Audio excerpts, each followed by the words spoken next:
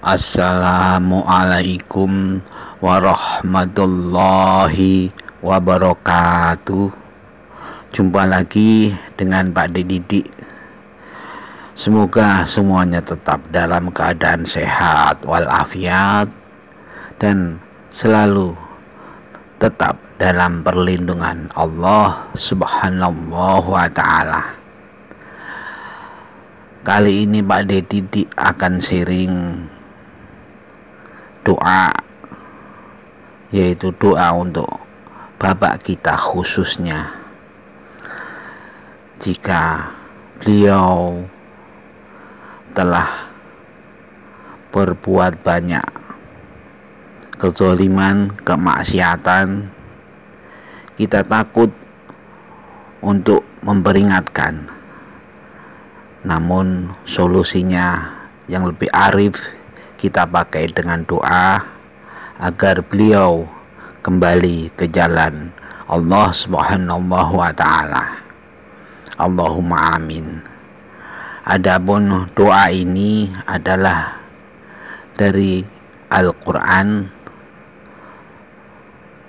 surat As-Suara ayat 86.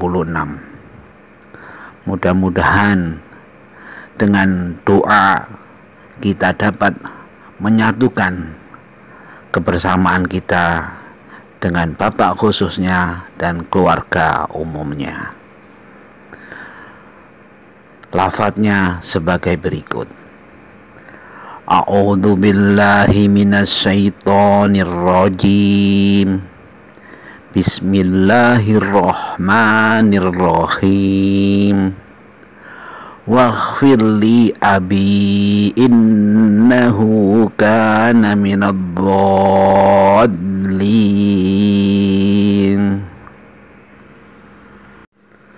yang artinya dan ampunilah bapakku karena sesungguhnya ia adalah termasuk golongan orang-orang yang sesat keterangan doa ini adalah doa yang terdapat dalam Al-Quran surat As-Su'ara ayat 86 menurut keterangan dari sebagian ahli tafsir bahwa doa ini adalah doa yang diucapkan oleh Nabi Ibrahim alaihissalam ketika memohon ampunan untuk bapaknya yang tidak mau meninggalkan agama sesatnya yaitu menyembah berhala. Permohonan Nabi Ibrahim alaihissalam tersebut tidak dikabulkan oleh Allah Subhanahu wa taala karena orang tua yang tidak mau memeluk agama Allah tidak dapat dimintakan ampun oleh anaknya yang muslim namun karena Nabi Ibrahim sudah terlanjur berjanji kepada bapaknya untuk memohonkan ampunan kepada Allah Subhanahu wa taala, maka ia tepati janjinya itu. Doa Nabi Ibrahim ini dapat kita contoh untuk mendoakan ayah kita yang muslim tapi masih suka melakukan perbuatan-perbuatan maksiat.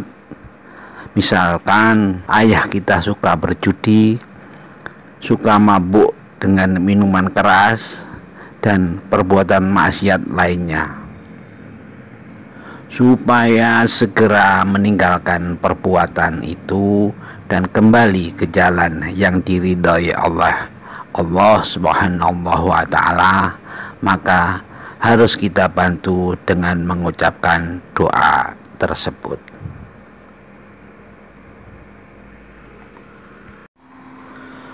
Demikian dulur-dulurku semua, jika berkenan mohon diklik logo jempolnya, kemudian logo subscribe-nya.